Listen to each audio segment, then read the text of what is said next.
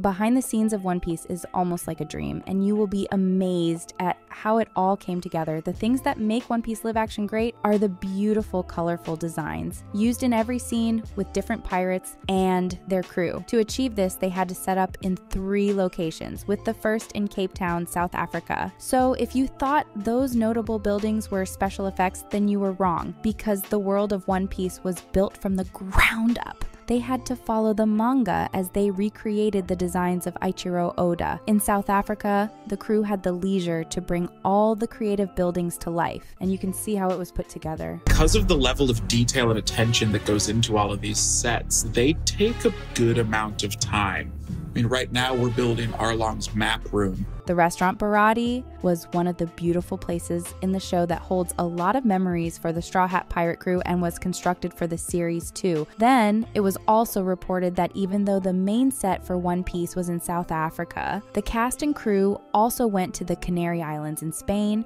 and Xcaret Quintana Roo in Mexico for the rest of the filming. During production, the cast could document the moments behind the scenes, but they were mostly not allowed to share them until the show was released. However, the cast of One Piece finally had the opportunity to show the fans how they had fun on set with some exciting stories behind them. Starting with the pictures on Emily Rudd's phone, an exciting image popped up. How cute. That's Peter. That's God, both of y'all's teeth Yeah. are so white. Emily also captured Mackenyu, who plays Zoro on set. You were like just so effortlessly cool. I was like, oh, can I please take a picture? Is this okay? And then you were like, And then Iñaki comes right next. The filming of One Piece took place during COVID, and the cast has proof of this. We shot during COVID, so we had to wear these masks every day. We were the only ones that you got the mask where you could see their faces. So I started drawing little mustaches.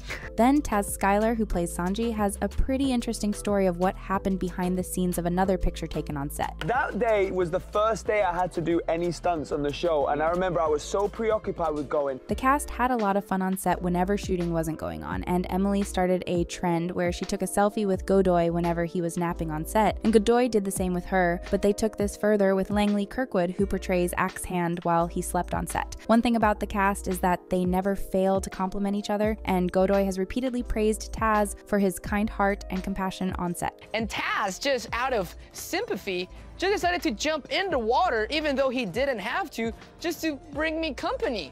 Like, that's just the kind of guy he is, you know? One of the things that makes One Piece so sweet to follow are the backstories in the show, and this was a challenging thing to do behind the scenes, as the showrunner revealed they had some difficulties. At first, fans were worried the live action wouldn't make sense because many live actions don't live up to expectations, but One Piece has managed to twist that narrative, and the huge reason is that Oda was with them and guided them on the production process. One Piece live action doesn't only have a fantastic cast who were able to bring the characters to life, it's also a series that's so beautiful to watch because of the incredible color mixes in the show. In the anime, many of the characters have colored hair, clothes that are unique to their personalities, and this was also a huge task to translate to live action. And the good thing is, Oda already has a color walk for the characters, which helped guide the crew on how to dress up the live action characters. Emily couldn't get over the costume designs as she added that some unique details only true fans would notice were included. However, before post production and the introduction of CGI, the crew tried their best to make the characters look real by using makeup prosthetics, especially on the fish men. One of the trickiest things was to try and keep all the designs as close as possible to honor Mr. Oda's work and then bring something to screen that looks like it could live in the real world. So they wanted to make them as close to the manga as possible. And the interesting thing about all these is that no change was made on the set without consulting with Oda first. And that means that great respect and attention were given to the original materials throughout the making of One Piece. Another great innovation in the series is the snail phones from the manga, and it was specially built for live action. Snail phone being a perfect example, we did snail phones that you have in the manga, and then the prop crew came up with tiny snail phones that fit in your ear like a Bluetooth. Props then designed a snail megaphone that amplifies the voice across the water. Except for the fishmen and fight wounds that needed extra makeup on set, Godoy also used to get his makeup done every morning, and that's for the scar on his face. While filming, many things were done behind the scenes to make each shot accurate, and one of them has to do with Luffy's unique straw hat. There were multiple straw hats for different scenes. There was a specific type of straw hat for the wide shots. There was like a, another type of straw hat for the close-ups. So they were constantly changing straw hats on set, even for the fighting scenes, and Godoy worked with many of them, but every one of the straw hats felt unique to him. Godoy revealed that the schedules were much tighter when they started filming on set, as they couldn't do more than three scenes in a day. But soon after, they became more comfortable and better with scheduling and extended it to about five scenes daily. The scene where Luffy and Nami pulled out a safe from Axe Hand's office was a crazy one, and it was filmed primarily in a way that the cast never experienced before. And uh, we go flying in the air, so they had to like, like lift Emily and me up in the sky with a crane, and like if it was like some bungee, they just like let us drop with a camera filming us. Godoy also had another big shock filming the water scenes where his character Luffy drowned because he couldn't swim. I would open my eyes and there will be divers with cameras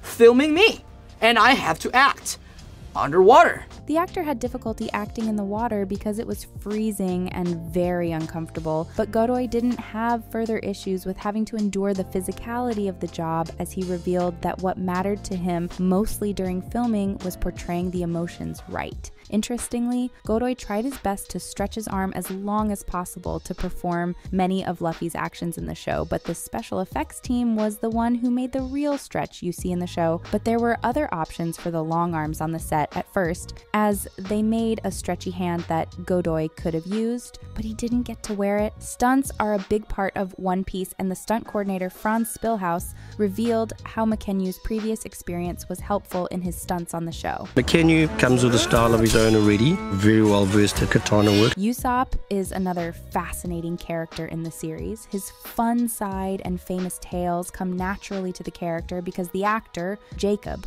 is also a goofy person behind the scenes. However, the showrunner, Matt Owens, has a favorite among the Straw Hats, and that's Sanji, who's very generous with food. And Taz revealed how he prepared for the role behind the scenes. I had to learn how to cook and fight. And I was like, this is gonna be fun. The cast hung out a lot while filming and always took pictures while at it. And this behind the scenes picture of Mackenyu, Emily, and Taz while posing in their costumes is one of the pleasant images from the set. Mackenyu also shared an adorable selfie with Godoy taken at one of the locations used to portray where Nami grew up. Aside from the exciting and challenging moments that went into filming One Piece, there were also the emotional aspects of it as Godoy met the creator Oda for the first time. To make this happen, Godoy took a trip to Tokyo and was able to ask a few questions he had about the live adaptation, starting from the reason why Oda decided to make the manga into live action. And Oda revealed that the CGI and VFX have improved so much that he knew his creativity could now have a place on TV. He also said he chose Godoy as Luffy because the moment he saw Luffy's audition tape, he discovered he was just like his drawing from the manga. The fun thing about Godoy is that he visited many places to learn more about One Piece during production, and he went to the Shueisha manga office where they make mangas, including One Piece. During this trip, he saw and held the first manga Oda wrote in 1997. Getting the giant set together was a lot of work for the cast and crew, and it's fantastic that they could have fun all through. About $18 million dollars was saved for each episode of One Piece, making it one of the most expensive shows ever. Which behind the scenes moment is your favorite? And how do you feel about the exciting and challenging work that went into filming One Piece? Share your thoughts in the comments.